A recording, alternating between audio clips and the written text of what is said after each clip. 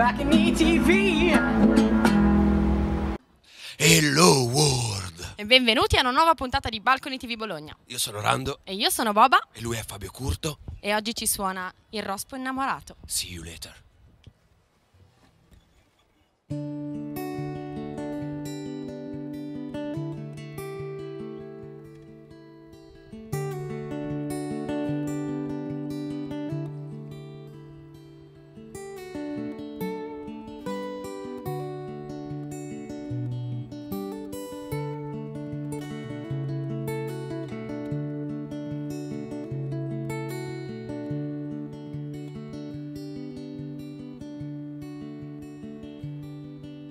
Non so se te l'ha detto la tua mamma o se te lo dirà.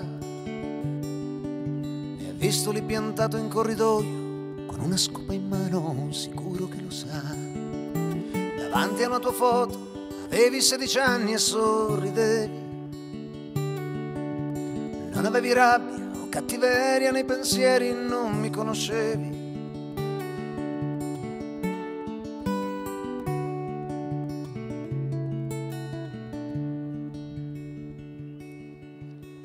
Le tue lune, dodici lentiggini per guancia.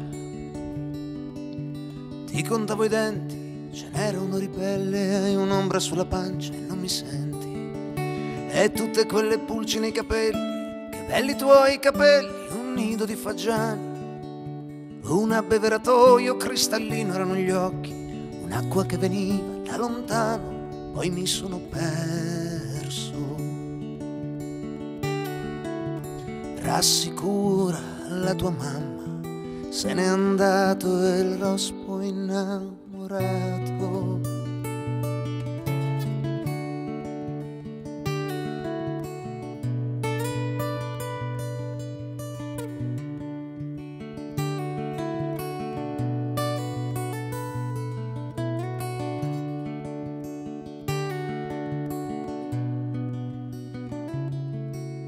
Non so se ti hanno detto del mio viaggio, se il fumo parlerà.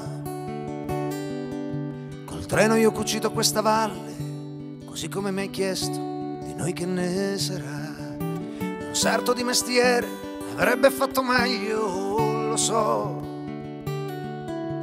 Ma sono un principiante, ho paura di sbagliare, in tasca mi son messo qualche scampolo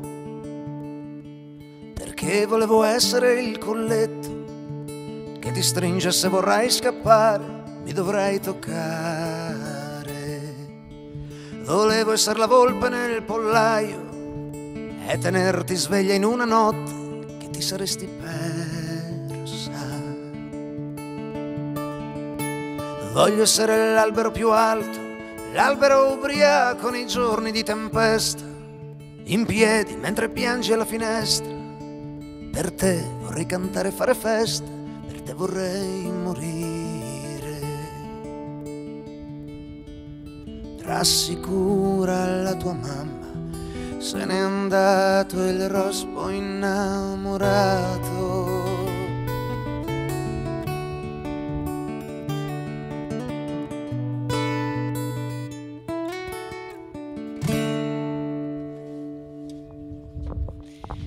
Mille Fabio, grazie mille per essere Grazie qua con noi oggi.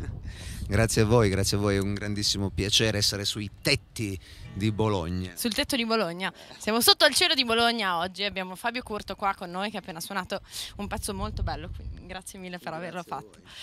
Ti chiederei subito una cosa, so che eh, tu hai iniziato come artista di strada, giusto? E hai fatto quello che è insomma la classica gavetta, diciamo. Sei passato dalla strada a quelli che sono dei palchi molto più grossi fino ad arrivare addirittura in tv. Ti chiedo un po' com'è stato questo iter, com'è stato questo passaggio, diciamo, e se torneresti anche indietro volentieri. È stata un'esperienza nuova, come, come tutte le, le rotture complete con, con- con- con l'ordine delle cose quando, sei, quando ti ritrovi magari, quando hai trovato il tuo equilibrio intorno alla musica, quello, quello che fai in una città, al perché e viene distrutto così da una, da una telefonata, non, è- non può non essere un po' traumatico. Quindi il passaggio è stato, è stato forte, cioè, ho dovuto affrontare delle, delle tensioni fortissime, palchi come eh, quello di Rai 2, insomma chiaramente non ero abituato da- ad affrontare quel tipo di palcoscenico. La cosa però che mi sono portato proprio dietro è lo spirito con il quale avevo scelto di fare arte di strada e la serenità con la quale lo facevo. Quindi ogni volta che salivo sul palco, con questa chitarra tra l'altro, Che non ti ha mai abbandonato. No, mi hanno abbandonato più le persone che lei. lei non mi ha mai abbandonato fortunatamente. No, è... salendo con, la stessa, con lo stesso stato emotivo che, che- che utilizzavo anche quando suonavo in strada, che era il posto più pulito dove suonare, posso dirlo tranquillamente anche adesso, dopo aver fatto tutta una serie di esperienze un po' particolari. Poi dalla TV si è passato, so- sono passato a, a palchi veramente più grandi, eh, a piazze insomma, dove mi lanciavano, mi sguinzagliavano da solo con la chitarra, facevo né più e nemmeno quello che facevo in strada, stesso repertorio, tutto in inglese, immaginati nelle piazze del sud dove è importante cantare in italiano. allora io tiravo- Connessione era leggermente... tiravo giù quest'ora e venti di inglese era veramente né più né meno lo spettacolo che facevo per strada e questo, di questo sono molto felice, che ho proprio conservato lo spirito, il perché faccio musica, perché ho cestinato la mia laurea ed ho iniziato a fare solo questo. Perché so che sei laureato qua a Bologna, se non vado errata. Mi sono la- laureato qui in Tortellonogina, mi sono laureato in scienze politiche, Io so di più, io so in criminologia. sì, era indirizzo criminologico in realtà, però poi la specialistica in criminologia vera e propria non l'ho fatta perché a quel punto ho dovuto scegliere se fare la specialistica oppure specializzarmi in, diciamo, in, in quello, che, quello che mi piaceva, quello che ho sempre fatto da bambino. Non era l'unica cosa che facevo la musica, non sono di quei musicisti che dicono la musica è tutta la mia vita. È una frase che mh, trovo veramente fastidiosa. La vita è un'altra cosa, cioè la musica è, una- è un linguaggio meraviglioso che esula dal linguaggio verbale, ma non- lasciamo perdere la musica e la mia vita. La vita va vissuta veramente in, in tutta la sua complessità. E a proposito di, di vita e di Bologna, eh, so che tu ti sei appunto trasferito da Acri a Bologna e ti chiedo come sei arrivato, come hai scelto queste latitudini per la tua vita futura? Allora, io volevo un po' scappare no, dal, dal mio, dal mio contesto, dalla- un po' dalla- da- dal mio quartiere, da noi si chiamano Rioni, eh, dal mio paese, anche un po' dalla Calabria. La Semplice curiosità, volevo andare fuori, studiare fuori, vedere un po'. Poi Bologna perché c'erano già una- un tot di amici e una volta venendo qui a Bologna mi affascinò Piazza Santo Stefano, eh, vidi questa questo mare, questo fiume di, di- di- di- persone, di ragazzi che suonavano, stavano insieme, eh, condividevano delle esperienze importanti, c'era il latinoamericano, c'era il russo, c'era l'americano e questo mi ha affascinato molto perché era eh, tutto racchiuso in, una- in un centro, in una città poi relativamente non grande, non- cioè relativamente piccola insomma. No? Sì, è una via di mezzo tra una città enorme e un È piccolo una- È, un villaggetto. piccolo- è una piccola cittadina, certo. E questo mi ha affascinato molto. Sono venuto il 2007 e sono ancora qui. E sono dieci anni quindi. E sono dieci anni, mannaggia. E il tempo passa per tutti purtroppo. Ho saputo anche che una grossa parte del tuo repertorio è in inglese, e però noi non ne siamo a conoscenza, nel senso che non l'hai mai pubblicato. È stata una tua scelta o stai semplicemente cercando l'occasione e magari le persone giuste con cui produrlo e pubblicarlo? Esattamente, proprio così.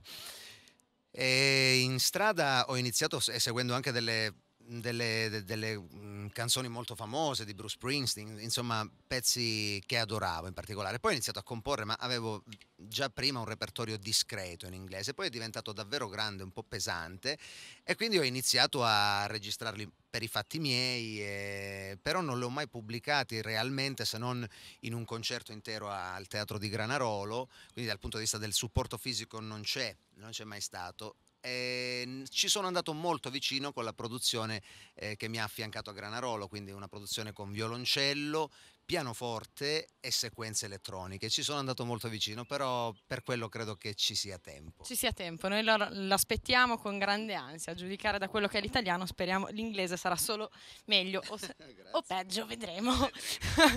Comunque, eh, ultimissime cose proprio brevemente. Ehm, so che ad aprile è uscito un eh, singolo che si chiama Via di qua, parlacene proprio brevemente e già che ci sei, dici qualcosa su dove trovarti, contatti, cose, giusto per, per gli affezionati. Affezionados o i futuri affezionados. Questa è stata una via di mezzo, come il brano che ho suonato prima, è stata una via di mezzo proprio tra il folk, un po' in inglese che mi piace, però cantato in italiano, che quindi per forza perde alcune caratteristiche ma ne acquisisce delle altre. Racconta un po' quella che è stata la storia subito dopo il, il- il talent, questa avventura, e quello che è successo più o meno negli ultimi due anni e alcuni valori ai quali sono particolarmente attaccato. Sono ben chiari nella canzone e sono molto molto contento della produzione con Simone Bertolotti, è stato veramente un momento particolarmente bello. Partiremo in band quest'estate portando questo tipo di spettacolo e con album probabilmente un po' più avanti a ottobre e novembre. Non mi ricordo l'altra domanda. L'altra domanda te la ricordo io, se qualcuno volesse contattarti, sapere Ah, qualche info, i social. di, me- di merchandising spiccato, ecco Fabio Curto, www.fabiocurto.it e pagina Facebook Fabio Curto, pagina ufficiale, Twitter, Instagram, più o meno la stessa cosa. Perfetto, li abbiamo tutti quindi. Quindi se Fabio vi piace almeno la metà di quanto piace a noi, contattatelo, cercatelo e seguitelo. Noi vi diamo appuntamento alla prossima puntata di Balconi TV Bologna. Grazie mille ancora Fabio Grazie per essere voi. Stato qua con noi. Ci vediamo alla prossima. Bella ragazzi! Back in ETV.